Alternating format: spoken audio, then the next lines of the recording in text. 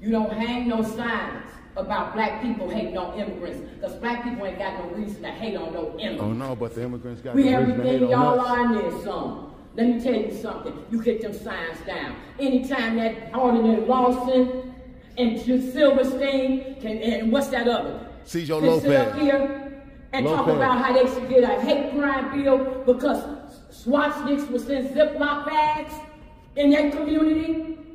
They hung this in our community. We want it off the poles. We want that to be the beginning of a hate crime. And that organization, which is a white liberal organization, like in the words of Malcolm X, who told us what? That the white liberal is the worst enemy yes. to the Yes. black man. Yes. And in To the here, black American. coming up in here, acting like y'all representing some social justice. Say that, But all sister. along, Say all that. you're doing is trying to use black people Say to that. find a reason to make some money. Say Let that. me tell y'all something over there. We're done.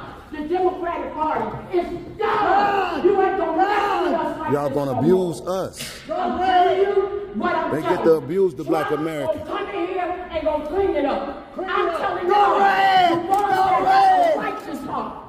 You leave the Democratic Party. Do just like mm. Please. RFK Jr. Just do like that Tulsi lady. You better get up out the Democratic Party. Save yourself. Save your families. Save your dignity. Save your jobs and save your seat. Because if y'all don't, we coming for your seats. We ain't taking this no more. We ain't taking no disrespect from a bunch of people who have broke into the country and now have completely broke the city, have completely broke the country, have completely disgraced the United States of America. America is a disgrace. And for oh my God, what a solution. You give us a fake, black, cackling hand of a candidate with a vice president that's talking about he want to put tampons in the boys' bathroom. Ain't Lord nobody have mercy. The number one function of a president is to be the commander in chief. You tell me anything about a Kamala Harris that look like she can protect this country after y'all have sat up here and let it get her overridden with a bunch of the immigrants. Y'all have sat up here and put America's hands in all kind of wars.